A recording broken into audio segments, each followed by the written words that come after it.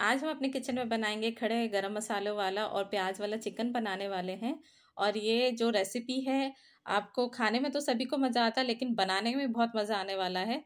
और ये बहुत ही टेस्टी बनता है, बहुत ही लजीज बनता है। तो स्टार्ट करते रेसिपी ये ढाई कड़छी मैंने रिफाइंड ऑयल लिया है। और इसको आप चाहे तो बटर में भी बना सकते हैं, चाहे तो सरसों ऑयल में भी बना सकते हैं। तो ढाई चम्मच हमने ऑयल लिया है रिफाइंड ऑयल और इसको गर्म होने देंगे। अब कुछ हमने गर्म मसाले लिए हैं खड़े वाले। ये एक चम्मच भर के शाही जीरा है, एक चम्मच अपना घर का रेगुलर जीरा है, और ये पत्थर फूल है, ये तीन बड़े इलायची है, और ये पाँच छोटी इलायची है, ये स्टार फूल है, और पाँच से छः दालचीनी है, और दो तेज पत्ते हैं। हमारा उधर ऑयल गर्म हो गया है।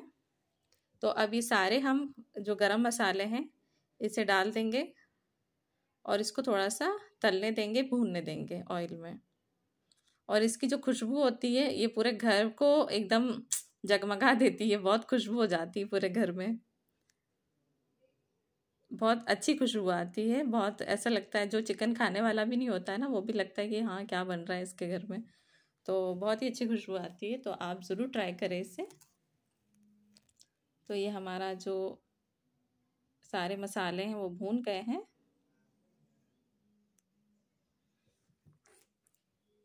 ये देखिए, इस तरह से भून लेंगे हम अपने मसाले।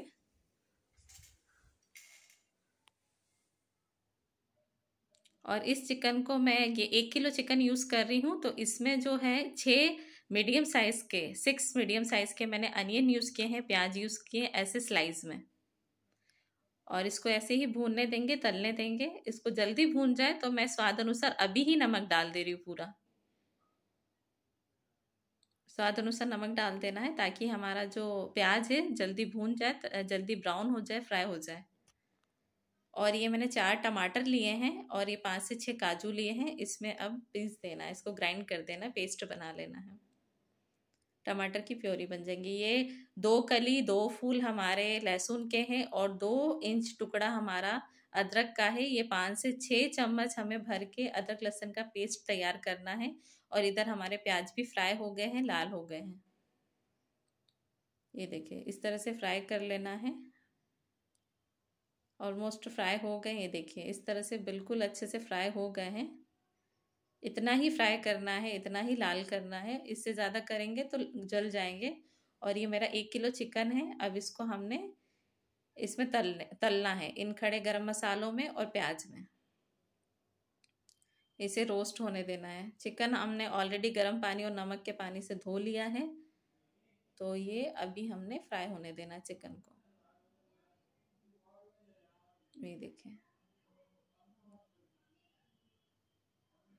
ये ऐसे ही अच्छे से फ्राई होने देंगे, तलने देंगे पाँच से दस मिनट।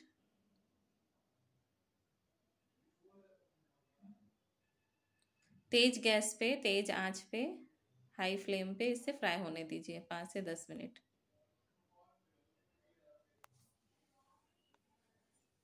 और ये फ्राई होगा तो इसका कलर भी चेंज हो जाएगा। ये देखिए, इस तरह से अच्छे से फ्राई करना है हमने। इसका कलर चेंज हो गया है चिकन का हमारे। अपने आप की आप, आप मतलब पता लग जाता है कि इसका कलर चेंज हो गया है तो आप उस टाइम पे आपको पता लग जाएगा। पाँच से दस मिनट भी या तो आप भून लीजिए इसे इस तरह से। लेकिन चलाते रहिए। ये देखिए। और ये पाँच से छः चम्मच हमने अदरक लहसुन का जो पेस्ट तैयार किया था वो अब हमने डाल देना है। और इसके बाद भी हमें पाँच मिनट अच्छे से फ्राई होने देना। अदरक लहसुन का जो पेस्ट डाला है, जिंजर गार्लिक का पेस्ट डाला है। अब इसको पाँच से पाँच मिनट अभी फिर से फ्राई कर, करेंगे। इस तरह इस तरह से भूनेंगे।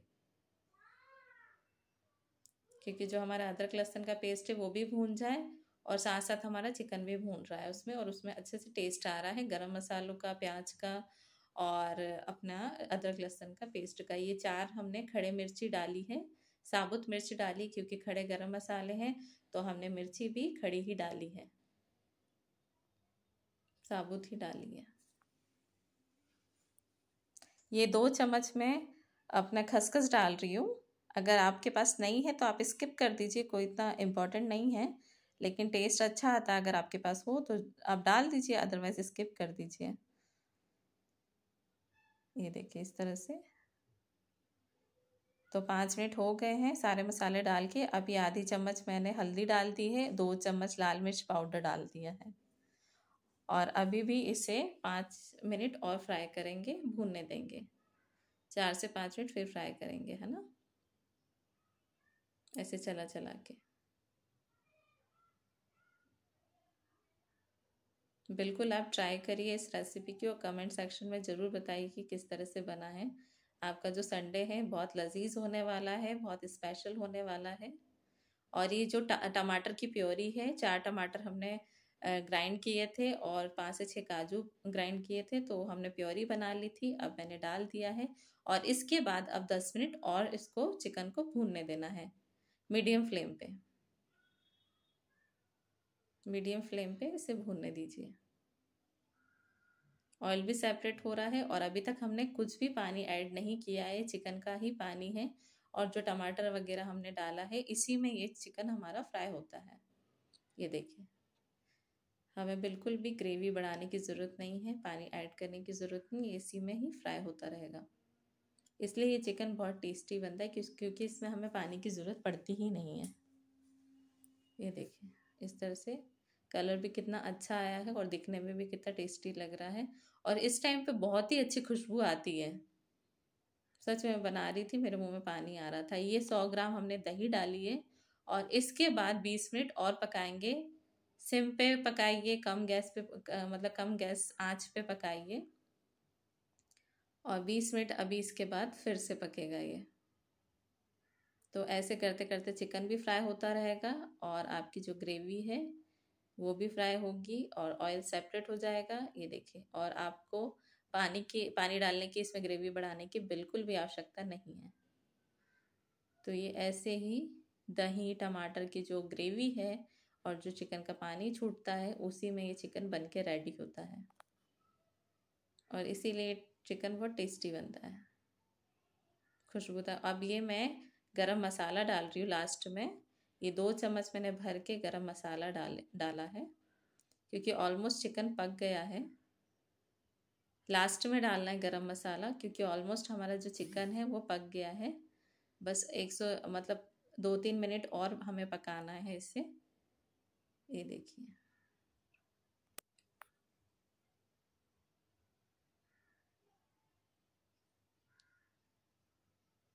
तो हमारा चिकन ऑलरेडी पक गया है ऑलमोस्ट पक गया है।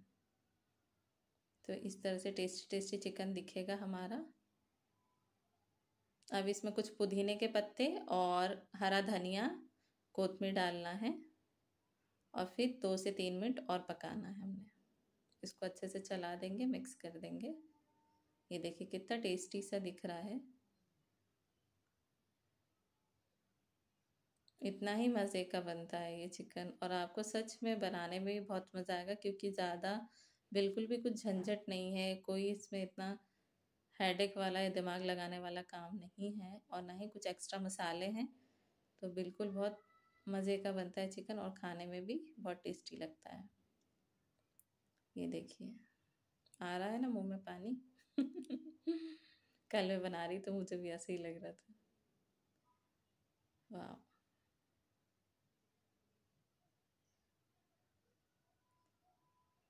देखिए, इस तरह से आप चलाइए और इस तरह से बन के आपका चिकन रेडी हो जाएगा।